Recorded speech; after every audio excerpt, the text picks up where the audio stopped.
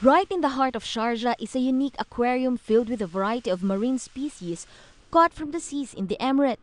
Over 250 species and 20 exhibits showcase the diverse underwater treasures very few people know about.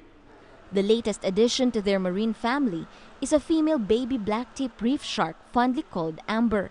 We uh, isolated her uh, the first day she was born uh, to stabilize Amber and to uh, feed her and uh, to make sure that uh, she is healthy. Until of course she's ready to be put on our harbor exhibit so visitors can see her. So she's she's fine. And it's it is very important to aware to the public uh, about sharks because uh, their numbers have uh, been going down recently over the past couple of years.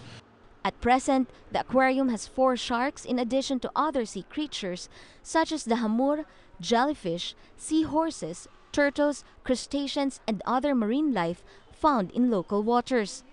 Marine specialists say some of these are in grave danger due to urban development and lack of awareness as well as carelessness among the public. The UAE are doing lots of work on this, but the problem is there's so many uh, boats in the Gulf coming in and they discharge their rubbish into the water and it washes up on beaches. And plastics is a big issue in the world's oceans about plastics, but sea turtles, dolphins, seabirds eat plastic and obviously they're not supposed to do that and they die.